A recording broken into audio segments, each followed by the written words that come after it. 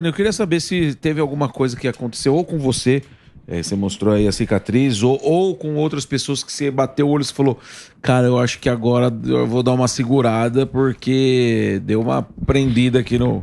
Cara, assim, eu, eu, eu perdi durante a minha carreira, tenho 30, quase 30 anos, 40 anos de, de carreira, mas 26 de Fórmula Indy.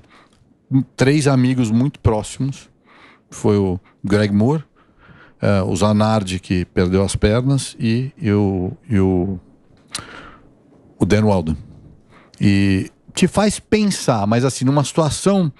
Eu sempre coloquei na minha cabeça que se isso passasse na minha cabeça, eu teria que repensar se eu deveria continuar fazendo isso ou não.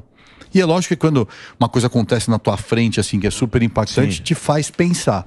E nenhuma das vezes eu achei que eu, que eu teria medo ou que eu teria que eu, que eu seria eh, eu, eu não ia conseguir acelerar mais eu ia pensar naquilo. Então sempre voltou ao instinto de é uma carreira muito egoísta. Você pensar a gente tem que super ingrata se você ganha você é ótimo se você perde você é o pior tal. Então tem muitos altos e baixos que eh, você tem que se sacrificar demais. Então na minha na, na minha cabeça eu nunca nunca me passou essa história. Lógico que assim você pega é, Tony não é de 20 anos atrás, não é o Sim. mesmo Tony de agora. Sei lá, ah, ali, ah, não vou ali hoje, não Você precisa. arriscava. Né?